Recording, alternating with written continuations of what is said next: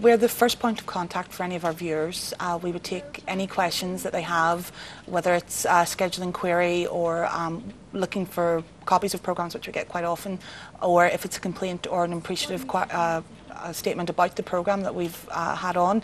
Uh, we would take any information we're given from the viewers and pass them on basically to everyone, production company, executives in Channel 4. So people are getting their voices heard when they do contact us, which is very important to them because people only call us when they have strong opinions. It's not something you do lightly. We receive uh, phone calls, we receive letters and uh, emails. So once we receive correspondence from a viewer, uh, we would then uh, seek to try and help them with whatever their query was.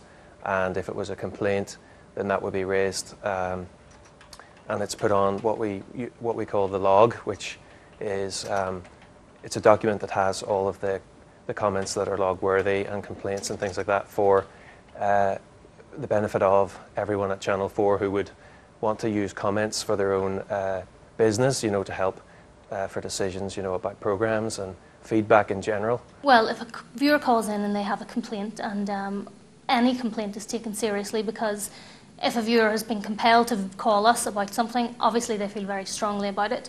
So therefore, it's all important to us, and we will take down everything they tell us, and um, we will, as I say, put that through our computer system, and that will be shown on the log.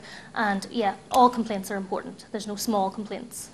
Well, people respond to different programs um, in different ways, but whenever we have something, a documentary that's dealing with a sensitive subject, such as recently we had um, a season on the caste system, we got very good response about that because people uh, feel like they have no voice, and when they see something like that that's telling their story, they, they appreciate the fact that um, the channel's doing that for them. Obviously, we have some sensitive subjects that people aren't so happy with us broadcasting. Anything that deals with public figures, you can you can tend to know that we're going to get a high volume of responses about those, whether people think we show them in a good light or a bad light. Uh, there's always going to be people that think no matter what is said in a program that there is a certain bias. Uh, we do, it's not always complaints. It's a lot of the time it's people just happy that these stories are being shown, that we're showing unusual things, because it's always been a big part of Channel 4 that they don't just show the same thing as everybody else. I find that generally a lot of our calls come through more consistently uh, between 7 and 8 because Channel 4 News.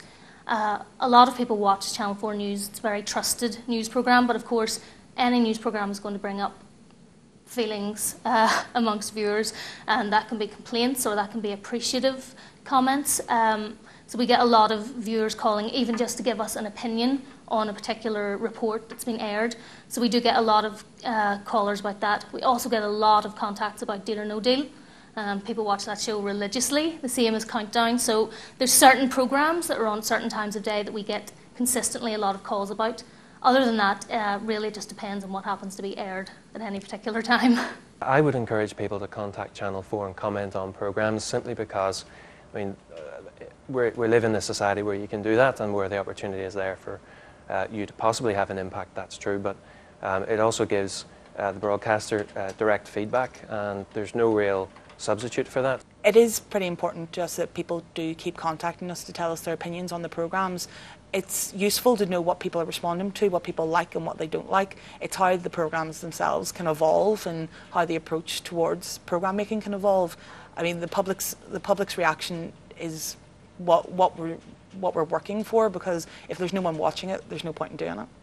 Well, yeah, personally, I think the viewer inquiries is a very important department and a very important uh, resource for viewers because not only are we there to provide them with information, we're there to listen to their opinions and to give them the outlet to voice those opinions. I think it's so important that people, yes, have a place to complain to, but I also think it's so important that people call to say, you know what, I just love that show, I just love what you do, because we have millions of viewers, and of course, most people don't call to say how much they love something, but again, every comment, including the appreciatives, help us gauge what programming we should put on and you know what we should do for our viewers and there's nothing more important than that, and no more important than our viewers.